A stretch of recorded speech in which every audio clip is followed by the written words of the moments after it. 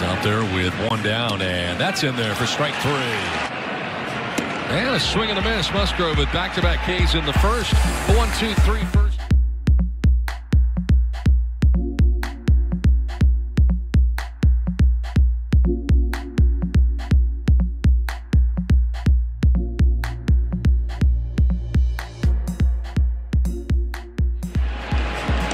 A swing and a miss. Picks up his third K. Gets away briefly from Caratini. That's in there for strike three. That's strike three and his fifth strikeout of the night. Two down in the fourth inning for Joe Musgrove. Strike three call. That's a swing and a miss, and he comes back to strike out Eli White. Seventh strikeout for Musgrove.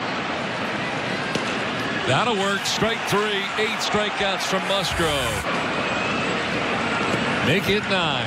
Yep. Really? Yeah. That is strike three.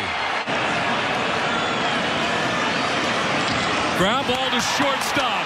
Kim will go to first. The San Diego Padres get their first no-hitter in the history of the franchise. And it belongs to San Diego's own Joe Musgrove, sending the Friar faithful into a frenzy. One of the most awesome things I've experienced watching baseball for a long, long time. Couldn't happen to a better kid. Homegrown.